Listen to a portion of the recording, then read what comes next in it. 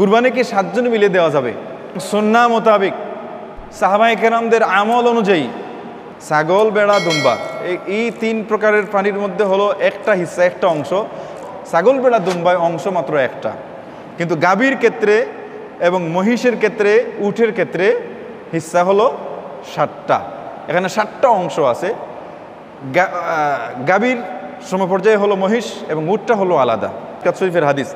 অর্থাৎ জাবের রাদিল্লাহ তালাহু থেকে বর্ণিত হাদিস, তিনি বলেন, আল্লাহ রসুল এরশাদ করেছেন আল বকরাতু আনসাবা আতিন ওয়াল জাজুরু আনসাবা আতিন আল্লাহ রসুল বলেছেন, গাভীর মধ্যে ষাটটা অংশ রয়েছে এবং উটের মধ্যেও ষাটটা অংশ রয়েছে।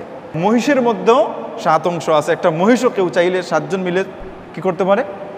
এই কোরবানি করতে পারে। একটা গাবিও বা গরুও সাতজন মিলে কোরবানি করতে পারে।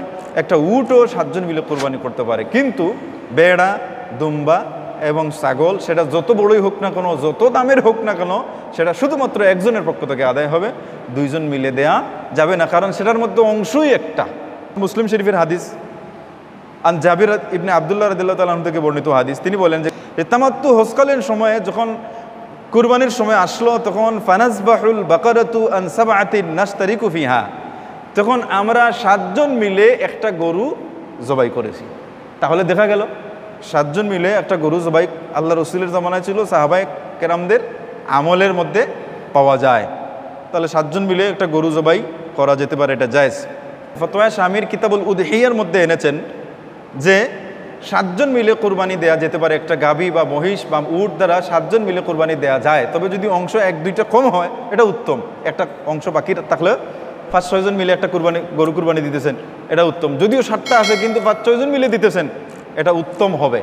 আর না হয় সাতজন মিলেও দিতে পারেন, তাতে কোনো অসুবিধা নেই। প্রথমে দারুলুম দেবন্ধের মধ্যে এনেছেন যে কুরবানির মাঝে, কুরবানির কালে বেড়া, দুম্বার মাঝে একটা অংশ মাত্র। আমার উঠ গায়ে, আমার বাহিসে সাত হিসে হতে হে। উঠ এবং গাবি বা অর্থাৎ গরু এবং বহিষের বেলায় সেটার মধ্যে সাতটা অংশ আছে। কেউ যদি চায় যে একটা গরু সে একা একা প্রথমে কিনে নেবে, এরপরে যদি চায় যে সে এখানে আরও সাতজন যুক্ত করবে, সেটা করতে পারে। কোনো অসুবিধা নেই, যেহেতু এখানের মধ্যে সাতটা অংশ আছে। আবার সাত আদমি বি শরিক হো শিখতে হে, এবং সাতটা আদমি মিলে একটা গরু কোরবানি দিতে পারে। তাহলে দেখা গেল, সাতজন মিলে গরু, বহিষ বা উট দ্বারা কোরবানি দেয়া জায়েজ জায়েজ আছে।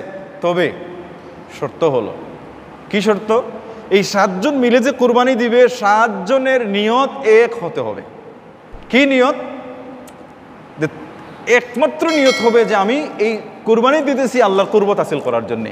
আমি কোরবানি দিতেছি আল্লাহকে সন্তুষ্ট করার জন্যে যে ফ্রিজ ভরে রাখব, অথবা মানুষ দেখুক, মানুষ জানুক আমি কি করতেছি, কোরবানি দিতেছি।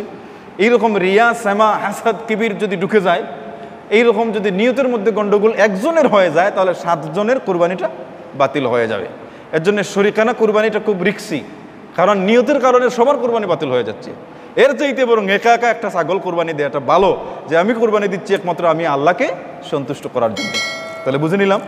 সাতজন মিলে দেওয়া যায়, শর্ত হলো সবার নিয়ত সহি থাকতে হবে, আর না হয় কোরবানি হবে না।